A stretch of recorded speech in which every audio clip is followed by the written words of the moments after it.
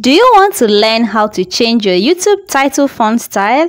Then you should keep on watching. Hi guys, my name is Lizzy and you're welcome back to my channel.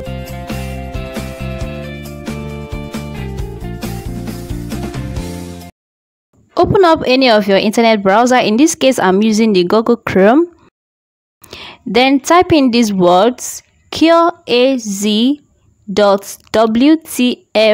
fonts then you search.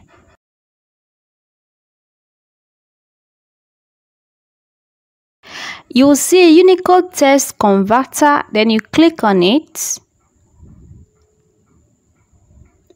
When you click on it it's going to take it directly to the uh, page where you're going to change your title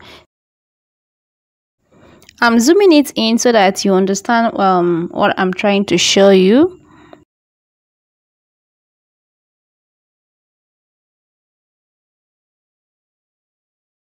Then go back to your YouTube studio, select that particular video that you want to change the title, like the fonts, the font style. I'm looking for the one I haven't changed here.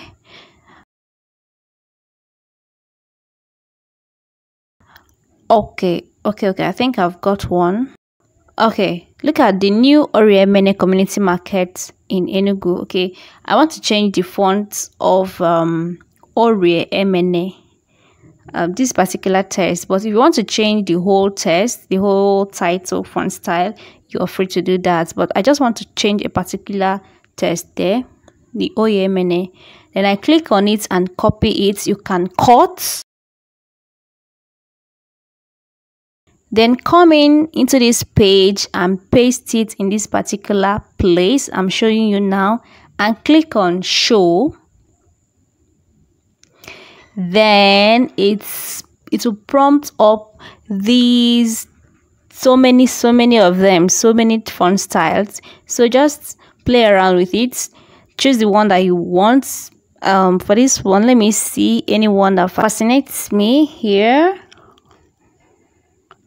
Okay i think i love this math bold. That's the one i basically use.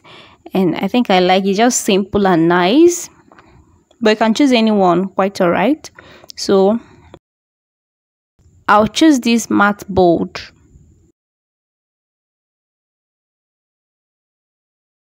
And then select it select that particular text and copy. Once I copy it I'll go back to my YouTube studio delete the previous one I the previous font I have and then paste in this new font style and ta-da! I've changed it. Quite simple right? Yes just try it out and let me know don't forget to leave your feedback in the comment section. Thank you so much for watching. If you enjoyed this video, please kindly give it a thumbs up and subscribe. I'll see you again in my next video. Until then, bye.